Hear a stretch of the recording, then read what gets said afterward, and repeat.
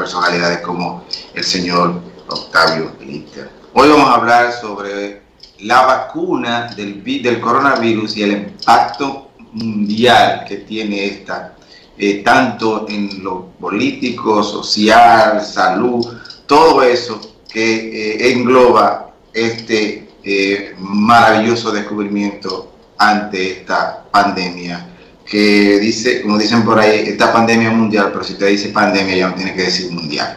Así es que Octavio Lister y nuestro tema de hoy, impacto mundial de la presencia de la vacuna del coronavirus en nuestra eh, geopolítica, podría decir.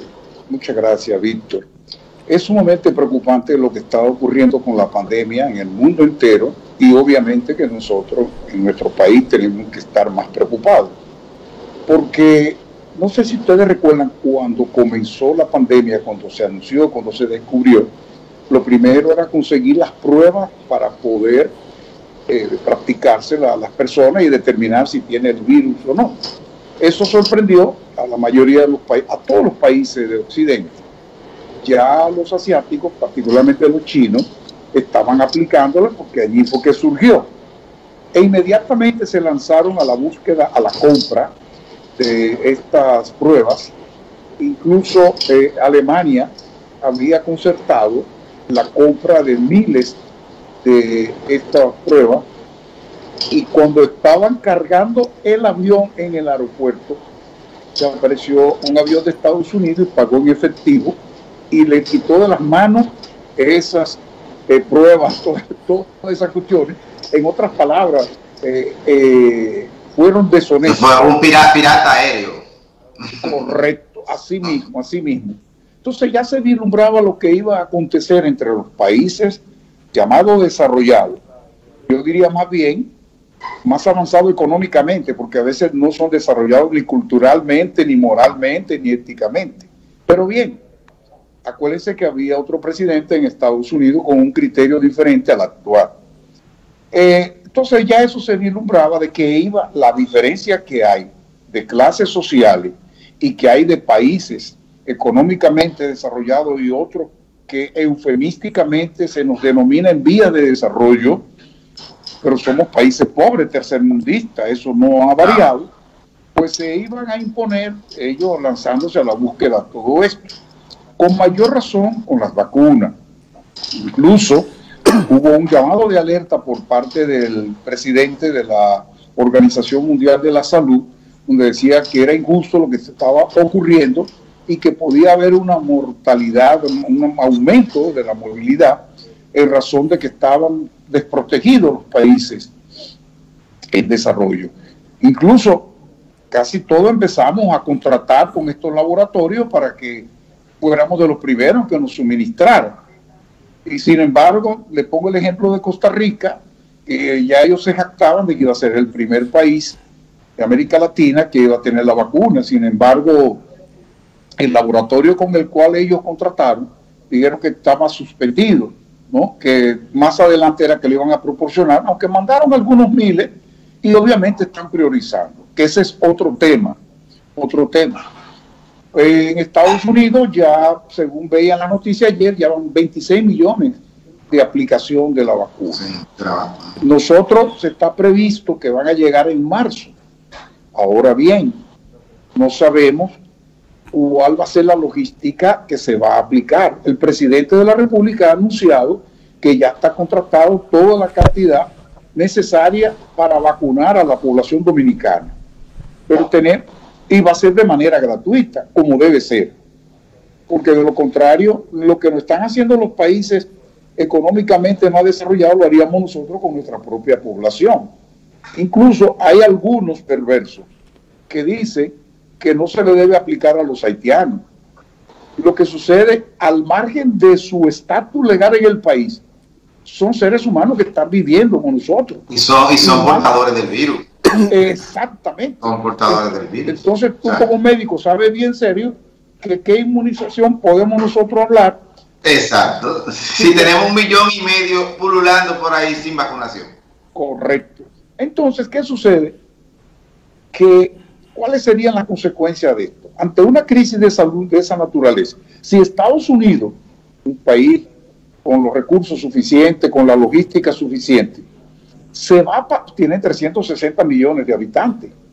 Entonces son 360 millones de vacunas que si se aplicara diariamente, como pretende el presidente Biden, obviamente con la segunda dosis se va a ir el 2021 entero. ¿eh? Entonces, en el caso nuestro, ah, somos solamente 10 millones, sí, pero ¿cómo se va a aplicar? ¿A quién se le va a aplicar? Porque no a todo el mundo se le puede aplicar. Es decir, hay personas que tienen precedentes con otros problemas de salud. Y además, déjame decirte, en las redes sociales se ha bromeado tanto con esto que hay muchas personas que tienen temor y dicen, no, yo no me lo voy a colocar. Y yo digo, bueno, si no hay ningún riesgo, yo me la voy a, poner por el hecho de que es mejor prever. Ahora. No, que hay muchas personas que hay que sacarlo de la duda, que creen que porque le dio el virus no se pueden vacunar. Ya hemos tenido casos y hemos tenido no solamente a nivel nacional, sino nosotros hemos tenido casos que pacientes que se infectaron en marzo se han reinfectado ahora al principio de año. O sea que la inmunidad que deja el, el virus cuando te da, para ser un buen dominicano, lo que te da es una, una inmunidad de 4 a 6 meses, que eso es lo que dan todos los virus.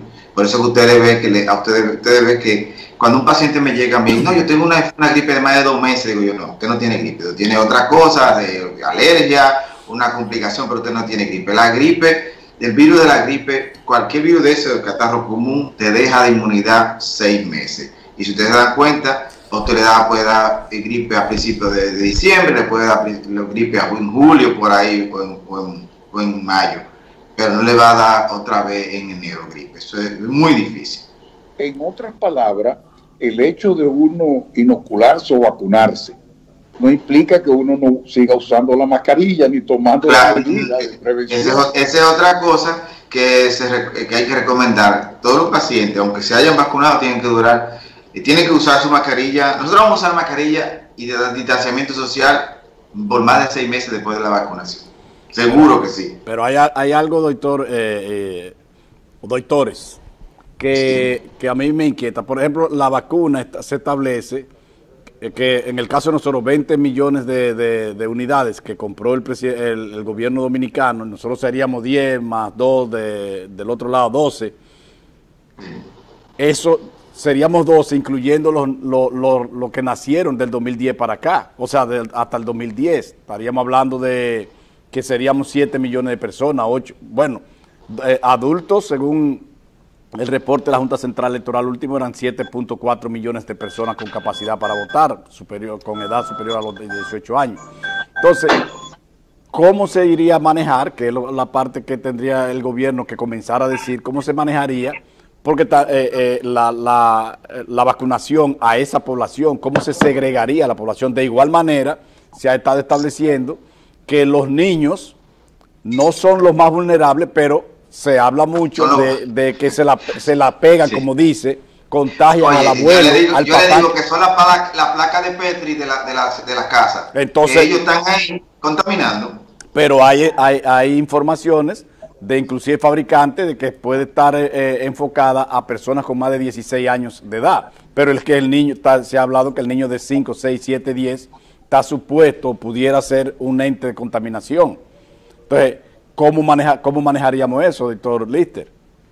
No, espérate, eso ya sería el médico. Que, mira, yo, creo, mira lo que pasa. yo lo que eh, voy a seguir hablando ahora de las consecuencias políticas. Sí, sí, pero yo le voy a, para agarrar ese, agarrar, agarrar ese, ese, ese, ese momentito que tiene, que dijo Ramón, de hacerle que, vamos a poner, un, hay un, un estudio que se hizo en Israel, que solamente eh, con vacunar el 50% de la población, así mismo baja casi el 60% de la infectación, o sea, de la mortalidad. Entonces, si tú vacunas toda la población adulta por encima de 16 años, aunque la, asimismo disminuye la, la, morbilidad en, por debajo de esa edad. O sea, tú asimismo va disminuyendo. No, señores, la vacunación no es el cese y el final del virus. El virus va a estar siempre.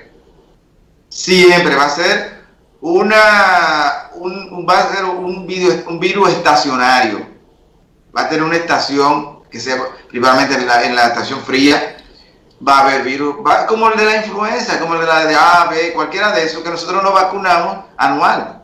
¿Pero por qué tiempo, doctor? Porque la varicela desapareció cuando apareció la vacuna. Sí, pero lo que pasa es que la varicela tiene la particularidad que en inmunología se llama cicatriz inmunológica, quiere decir que tú te dejas una inmunidad permanente. Tenemos inmunidad adquirida, inmunidad al nacer. Entonces la, inmunidad adquirida puede ser por un año con las vacunas o porque te dé la enfermedad y no te vuelva a repetir porque te da una inmunidad permanente está la parotiditis, está la varicela, está, el, el, el, sarampión, todas esas enfermedades te pueden, que, producen una, inmunidad permanente. Entonces, esa inmunidad permanente en los virus no se da, porque los virus tienden a mutar.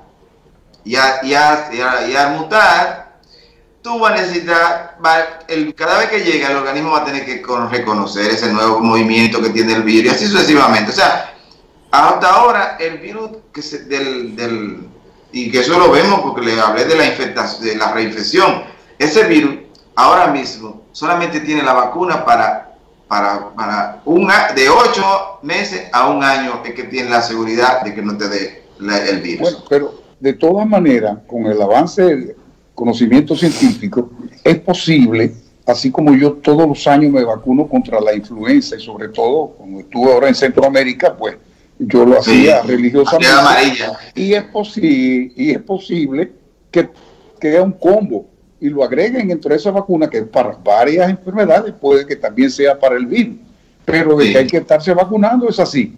¿verdad? Uno no quiere eh, eh, infundir ningún tipo de temor de la población, pero fíjate, eh, Sergio, que casi no ha habido muy poca gripe e influenza este año, porque estamos protegiendo del virus con la mascarilla. Exacto, mira, eso es una buena observación, muy buena observación, porque la gente dice, ahora no hay gripe, ahora no hay catarro, pero es que usted se está cuidando. Nos estamos cuidando. significa que somos muy descuidados y, y, somos reacios a estarnos vacunando contra la, sobre todo a los niños contra la influenza, la gripe, todas esas cosas. Pero bien, permítanme hacer esta acotación antes que me digan que se... Doctor, pero eh, para, para, para que usted enganche, como abogado, usted sabe el tema de la relación entre la norma y, la, y el delito existe el delito, la violación, la irregularidad, la, informalidad, y entonces se crea una norma para regular o sancionar esa, esa acción del hombre, su estado. En el tema político, ¿qué relación pudiera entonces haber entre la, salida, no, quiero decir la creación, entre la existencia, el origen del virus y la rápida eh, aparición del medicamento que lo cura? Bien, eh, en realidad tenemos una crisis